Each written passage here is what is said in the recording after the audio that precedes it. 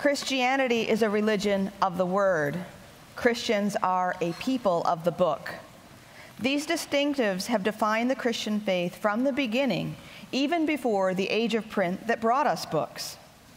As we enter what many are calling a post literate age, pastors, professors, parents can help remind students and each other that the, the essence of the Christian faith centers on the Word, capital W, and words, small w.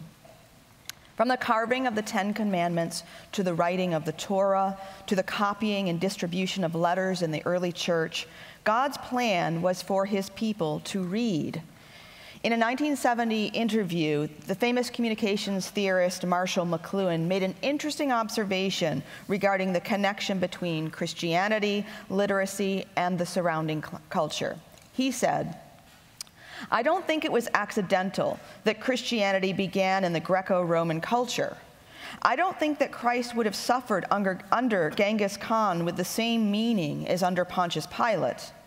The Greeks had invented a medium, the phonetic alphabet, which, as Eric Havelock explains in his book Preface to Plato, made it possible for men to have, for the first time in history, a sense of private identity a sense of private, substantial identity, a self, is to this day utterly unknown to tribal societies. Christianity was introduced into a matrix of culture in which the individual had enormous significance. This is not characteristic of other world cultures. So I think the way we read and what we read in this digital post-literate age changes, as it changes, so too might the character of the church change, as well as the relationship of the church to the surrounding culture. How will our reading habits affect the way we interact with the Bible? How will the way people read the Bible alter the church body? And how will a less literate church influence and be influenced by the culture in which we find ourselves? Earlier this year, several news outlets reported on so-called biblical literacy bills being proposed in at least six state legislatures. Bills pushing for public high schools to require or encourage classes on the Bible's literacy and historical significance. While I'm undecided on the notion of requiring public schools to teach the Bible, I'm quite convinced that one cannot read much of the world's great books without getting a good dose of the good book. I think I'd rather the schools actually require much more reading of the small good books, small g good books, in fact. Because to fully appreciate Chaucer, Shakespeare, Dickens, Faulkner, Dante, Dostoevsky, Austen, the Brontes, or even The Handmaid's Tale, The Lottery, Fahrenheit 451, Lord of the Flies, The Grapes of Wrath, or Robinson Crusoe, any of those, and many, all, many more, readers need at least a passing familiarity with the Bible. To this point, a few years ago, a New York Times essay by Marilynne Robinson called The Book of Books What Literature Owes the Bible, she wrote, a number of the great works of Western literature address themselves very directly to questions that arise within Christianity. They answer to the same impulse to put flesh on scripture and doctrine, to test them by means of dramatic imagination. This is one reason why I think the reading of good books and the, the reading of the good book is a mutually supportive behavior. While the highest levels of biblical and literary her hermeneutics can sometimes confound us, a basic and valid interpretive lens for reading the Bible can be as straightforward as the one for approaching a great literary work. Of course, as most college students here will probably um, tell us, and I, as an English professor, can confirm the skillful reading of literature doesn't necessarily come naturally. It must be learned, and it can be taught. The inspired Word of God, the Bible, is also a literary work written with artistry, a narrative arc, and themes, both major and minor. So, just as there are valid and invalid approaches to reading, say, Huckleberry Finn, there are also right and wrong ways to read the Bible. As readers, whether the text we hold is God breathed or merely mortal, we must take into account genre, purpose, audience, structure, and point of view. And there's this guy named Leland Ryken who's written a lot about this. I highly recommend his work. We find meaning by understanding each passage within the context of the whole. Consider, for example, the problem of the reliability of the narrator. A certain level of readerly maturity, skill, and critical distance is required to discern between a reliable narrator and an unreliable one. So, for example, when Huck Finn tells us that his conscience is troubled for treating Miss Watson so mean by assisting her runaway slave, recognizing the unreliability of Huck as a narrator is imperative to grasping the meaning of the text as a whole. On the other hand, when the narrator of A Tale of Two Cities tells us it was the best of times, it was the worst of times, the skilled reader knows the narrative voice reflects the view of the implied author. Similarly, the skilled reader of the Bible can distinguish between description and prescription, between ceremonial law and moral law, and between the abol- abolishment and the fulfillment of the law. Being a faithful reader of the text, any text, neither adding to it nor subtracting from it, reading parts in the context of the whole, letting text interpret text, these are all skills that require both learning and practice. And it's a skill we as a culture have been practicing throughout the world for over 500 years. Literacy has changed the world and changed the way we live. Yet, long before the printing press and widespread literacy, God was cultivating a, cultivating a relationship with his chosen people focused on the written word. The words God carved into stone at Mount Sinai included, in fact, a caution against images setting up a peculiar word based relationship with his followers that contrasted starkly with the image worshiping pagan nations surrounding the Israelites. This is an observation made famously by Neil Postman in Amusing Ourselves to Death. Before Sinai, in the Garden of Eden, the skins with which God covered Adam and Eve after they sinned were a type or a foreshadowing of the skin that would cover God Himself in the incarnation and which would then cover the sin of all believers. As David Lyle Jeffrey explores in depth in his work, People of the Book Christian Identity and Literary Culture, even the animal skins or the vellum on which early scriptures were later written also remind us of this skin covering. This motif continued throughout church history, according to Jeffrey. Medieval paintings frequently depict Mary, other biblical pictures, and the church fathers anachronistically holding the Bible. Uh, and there's a slide that I have that hopefully, there we go, okay? Um, God's word, um, both written and incarnate, beckons us. Oops, sorry, I skipped my this one. Um, this, this scene is one from a manuscript numbered 69 in the Fitzwilliam Museum, which is a mid 15th century illuminated manuscript created by an unknown artist. And uh, art historians and art critics actually say that the artist is not very skilled. I'm, i guess I'm not a good judge of that. Uh, but this is a good example of many other variations of Mary being depicted as a reader. And not just a reader, but she's actually holding a book the, these scenes are often in the context of the Annunciation, uh, and, and they symbolize Mary's reception of the Word, the, the child and the book in her hands. Uh, it's an image of the Word becoming incarnate. Such images, even or especially when they're anachronistic, because bound books didn't exist when Mary bore Christ, symbolize the centrality of reading to Christian faithfulness and point out the concrete, tangible nature of the word.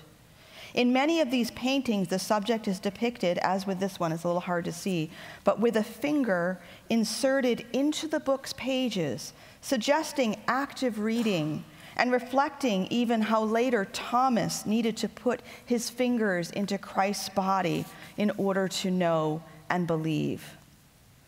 God's word, both written and incarnate, beckons all of us to come close and engage in a tactile relationship.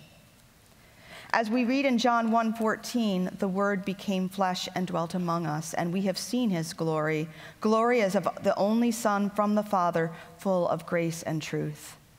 And some human beings even got to touch him. One of us held him in her womb, as the old Orthodox hymn sings to Mary, he whom the entire universe could not contain was contained within your womb. Despite the centrality of the word, and words from the beginning of God's revelation, many generations of believers were, of course, unable to read the Bible for themselves, if they even had one. Before the Reformation, biblical words passed through priests and were supplemented by images depicted in stained glass windows and in itinerant drama troupes performing biblical stories. These symbols offered rich beauty, but images alone cannot convey the abstractions of doctrine. Thus, in the pre-literate age preceding the Reformation, the Bible was delivered and understood only in pieces, not the whole body.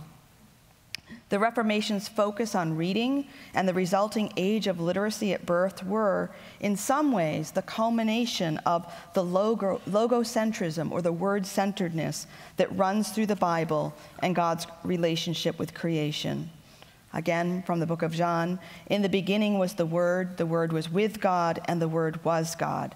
These words are, of course, a direct echo of Genesis 1, where we read that God created uh, the world with his words. And while the word of the Lord, that phrase, refers to all the ways God reveals himself, whether spoken, as in Genesis 1, or in a vision, as in Genesis 15, or as written words throughout the Bible, God's word is always logical, linear, and coherent. Likewise, the key feature of a literate age is the cultivation not only of the ability to read, but of the propensity to think in a logical, linear, coherent fashion. Yet it is significant that the act of reading is not natural to the human brain. While scientists see reading in terms of evolution and adaptation, reading is, in some ways, supernatural, I think, or at least unnatural. In her book, Reader Come Home The Reading Brain in a Digital World, neuroscientist Maryanne Wolf explains that reading is not hardwired in the human brain the way language is. Not only does the remarkable plasticity of the human brain make reading possible, but the activity of reading actually creates new circuits in our brain these circuits aid us in learning abstract and creative concepts that go beyond the brain's genetically programmed functioning. Reading thus demands what she calls extraordinary cerebral complexity, and the brain requires years of deep reading processes in order for these circuits to be formed. Our reading habits, therefore, have the potential to shape our very brains for good or ill.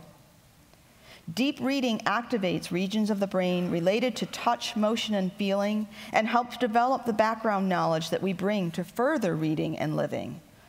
The consistent strengthening of the connections among our, our analogical, inferential, empath empathic, and background knowledge processes, Wolf says, generalizes well beyond reading. In other words, these brain processes that we gain through reading apply to real life. She says, when we learn to connect these processes over and over in our reading, it becomes easier to apply them to our own lives. I don't know if Wolf is a Christian, but her findings seem to confirm the truth of Psalm 119:11. I have hidden your word in my heart that I might not sin against you. Cognitive science further shows that our brains work one way when accustomed to reading in logical linear patterns, and another way when continually bouncing from tweet to tweet, picture to picture, and screen to screen. Uh, I don't know if um, Dr. Gibson is here, but I feel like he would have a lot to say about these things I'm, I'm talking about.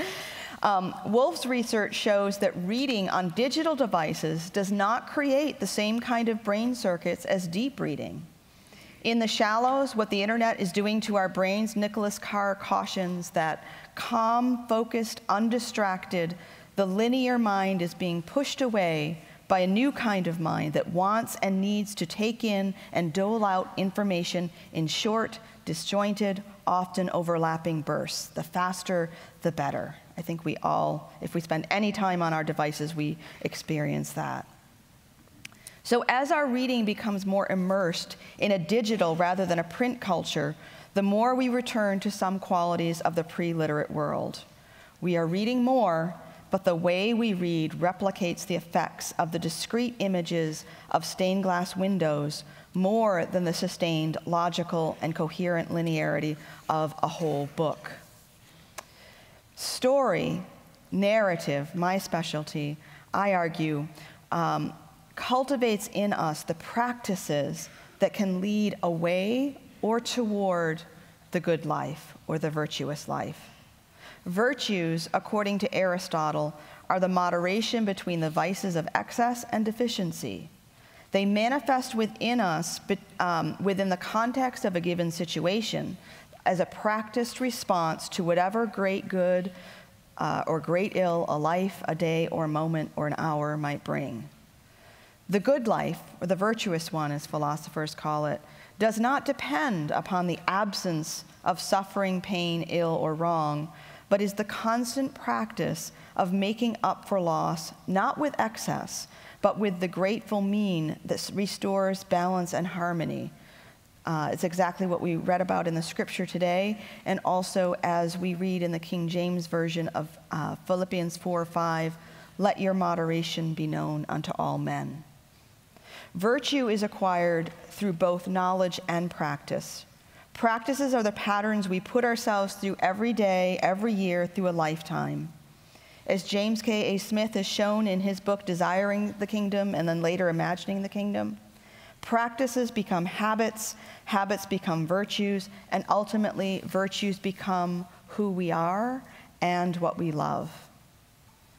In Imagining the Kingdom, Smith explains that imagination is fundamentally aesthetic in nature, tangible, it, something we sense and feel.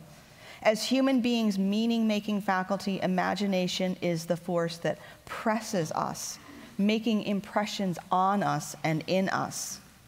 Being made in the image of God, the process of imaging or imagining is a simultaneous and reciprocal receiving and sending forth.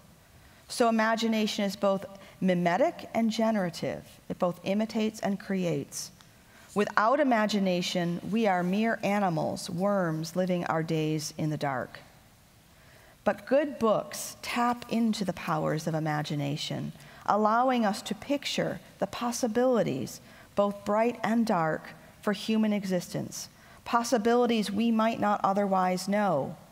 Literature makes concrete, it embodies and incarnates the abstractions of ideas and ideals.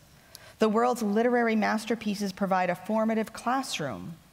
In holding forth visions of the good life, great literature cultivates the desire for that good. Reading such literature is a practice that cultivates virtue as the reader inhabits the world of, book, of the book and exercises vicariously the choices and actions embedded in that world. As C.S. Lewis famously observed, we are half hearted creatures fooling about with drink and sex and ambition when infinite joy is offered us, like an ignorant child who wants to go on making mud pies in a slum because he cannot imagine what is meant by the offer of a holiday at the sea. We are far too easily pleased. In other words, we cannot desire what we cannot imagine, and we cannot imagine what we have not seen. This is why Jamie Smith again explains that imagination precedes desire because actions are pulled out of us according to our vision of the good life and what it means to be human. But the human imagination is more than just a picture making function. Language is inextricably bound to the working of the imagination. Imagination is, after all, the expression of our Creator showing forth His image in His creation. To imagine is to, is to mirror God. Through imagination, a mere picture becomes an idea expressed in words, which then becomes a way of being and acting in the world. Reading virtuously means first reading closely, being faithful to both text and context, interpreting accurately and insightfully. Indeed, there is something in the very form of reading, the shape of the action itself, that tends toward virtue. The attentive, attentiveness necessary for deep reading, the kind of reading we hopefully practice in reading not just literature but the Bible, requires patience. The skills of interpretation and evaluation require prudence. Even the simple decision, which is harder and harder for most of us, to set aside time each day to read in a world rife with so many other choices competing for our time, requires a kind of temperance. To read well is to not merely scour the pages for lessons on what to think, rather, to read well is to be formed in how to think. And again, to cite C.S. Lewis, apt where we are today. In, exper- in Experiment and Criticism, he explains that to approach a literary work with nothing but a desire for self improvement is to use it rather than to receive it. While great books do offer important truths about life and character, Lewis cautions against using them merely for lessons. Literary works are, after all, he says, works of art to be enjoyed for their own sake rather than mer- merely used for our own. To use art or literature rather than to receive it, he says, merely facilitates, brightens, relieves, or palliates our life, but does not add to it. Reading well adds to our life not in the way a tool purchased from the hardware store adds to our life, for a tool does us no good once lost or broken, but in the way a friendship adds to our life, altering us on the inside forever. In a word centered faith, the ability to read well is central. As a people of the book, Christians have a particular calling to preserve and promote the gift of deep reading and the word. The power of reading words and the word well is the power to alter us and the world forever and ever. Amen.